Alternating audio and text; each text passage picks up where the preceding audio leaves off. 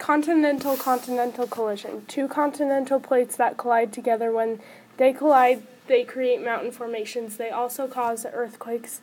An example of a mountain range in, is the Himalaya Mountains. Continental oceanic. Subduction. One continental and one oceanic plate colliding, and the oceanic plate subducts under the continental plate. In this case, this one is the continental and this one is the oceanic, and it subducts underneath the continental. When this happens, coastal volcanic mountain ranges are formed. Some examples are Andes Mountains and Cascade Mountains. Oceanic oceanic subduction. Two oceanic plates colliding in the older, cooler, and more dense plate subducts underneath of the other when this happens. Island formations and deep sea trenches are formed. Some examples are Japan, South Sandwich Islands, and Aleutian Islands.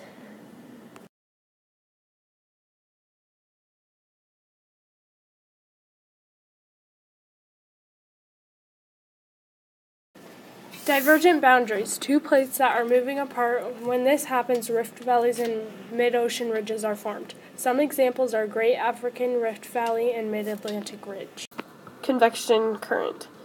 The process of hot air rising and cooling air sinking are convection currents. These currents create energy that causes the plates to move.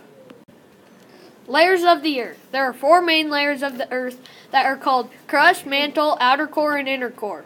These can be broken into subdivisions that include the upper mantle, lower mantle, lithosphere, and asthenosphere.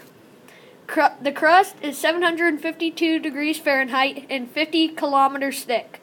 The mantle is 100, 1,652 degrees Fahrenheit and 2,855 kilometers thick. The outer core is 6,100 degrees Celsius and 2,200 kilometers thick. And the inner core is 9,800 degrees Fahrenheit and 2,400 kilometers thick.